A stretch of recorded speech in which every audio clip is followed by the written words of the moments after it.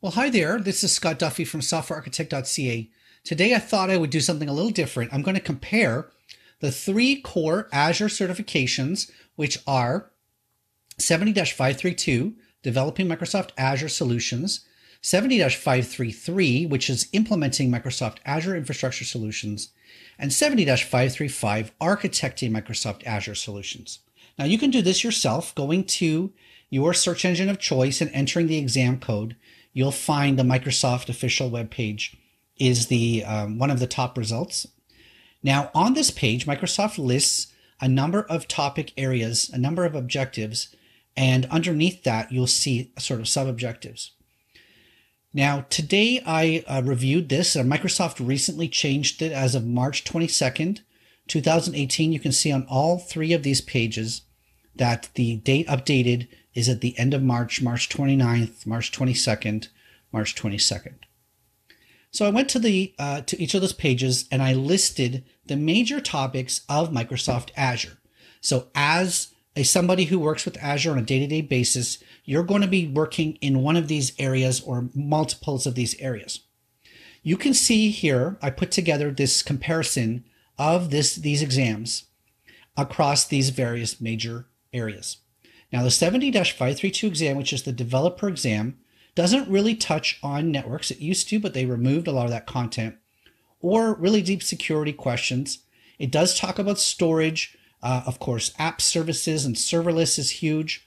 Virtual machines, 20 to 25%, and a little bit about setting up applications that use uh, Azure Active Directory, not for security, but for authentication and authorization. Okay, so you can see the breakdowns are pretty straightforward. When we move into the 70-533 exam, 70-533 exam touches a little bit of almost everything. You get a lot more networking topics, security topics, virtual machines and infrastructure as a service. Of course, that's that's major, um, and uh, even things such as ARM templates, being able to create resources using ARM templates. There are little bits about uh, reporting and automation, management and monitoring, Azure Active Directory, uh, less so than on the 532 exam in that particular case. Okay, so you'll see there it's uh, there's some big focus areas, but there's also some minor focus areas. When we move to the architecture test, it's a little bit of everything. Uh, every single requirement that I've listed along the left side, from networking all the way down to ARM templates, has around 10% uh, on this test. So really Microsoft's going to ask you out of 40 questions, three or four questions on each of these. And so it requires very broad knowledge of the Azure environment, but not necessarily extremely deep knowledge.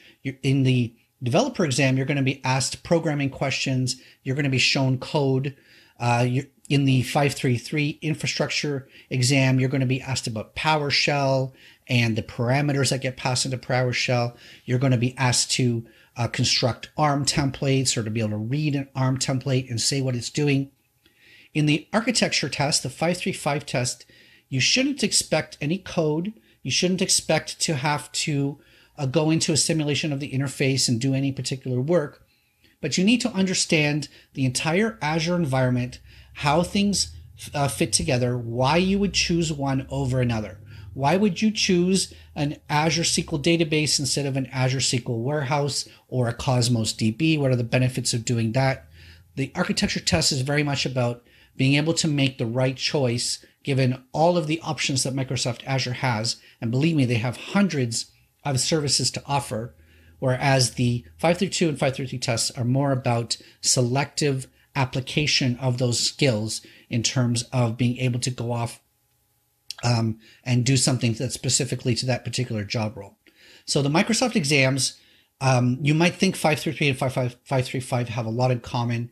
To me, they're more about focus, where this is really uh, security and infrastructure as a service as the two big focuses. 50% of the test have to do with security and infrastructure as a service. Whereas in the 535 test, it's a little bit shallower, but across everything. So those are the major uh, differences between the three exams. Um, if you want to join, we have a uh, amazing Facebook group that contains a lot of people and a lot of questions and, and a lot of knowledge is being shared. We'd love to have you in there. Uh, the link is in the description below. Otherwise, I hope this helps you decide which of the following tests would be right for you based on your job role, based on your level of knowledge or level of interest, where you should start to go and pursue certification within Microsoft Azure. Of course, I have a training on all of these, so come to softwarearchitect.ca and you'll be able to see some courses that are available. You'll get some, I mean, the courses are really affordable. You get lifetime access, uh, unlike some other people that give you very selective access.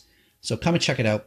But if you're looking to, to know where do I start on my Microsoft Azure certification journey, here's a good graph that you can start with. Thanks a lot and talk to you again.